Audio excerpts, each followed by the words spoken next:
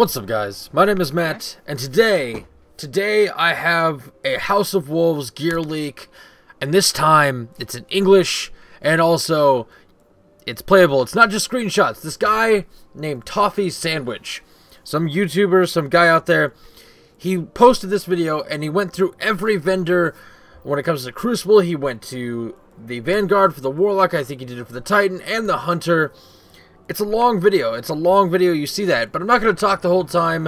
What I'm going to do instead is kind of explain what he had to say and then let it play out so you guys can take a look at the gear at your leisure or you can leave as soon as I'm done talking or you can leave right now. I don't really care. One thing that he wanted to point out is that as of right now, it appears, it appears that May 19th is going to be the release date of House of Wolves.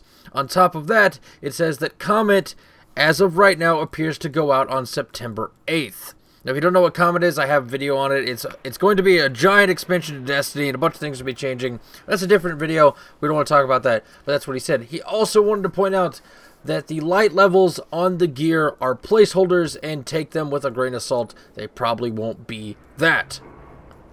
But he has every weapon in every in the Crucible, and also has every piece of gear. So you can take a look. You can skip through. Maybe you can look. Maybe you're a Titan, so you can skim through and find the Titan part, or your Warlock skim through and see the Warlock part. It's really up to you what you do with this footage. But make sure you go check that guy out. Check out his video. His links in the description.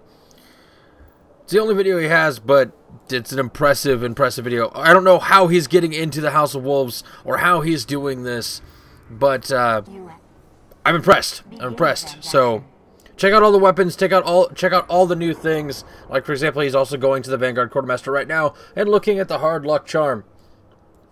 By the way, that's a really interesting name. Regardless, check out the rest of the weapons, enjoy the rest of the video, put some music behind it, and I'll see you guys tomorrow. I didn't really do that right. If you're new here, be sure to subscribe, leave a like, leave a comment. But as always, my name is Matt, and I'll see you guys tomorrow. Is that better? Does that fix the OCD for some of you out there? I bet it did. I bet it did. See you guys tomorrow.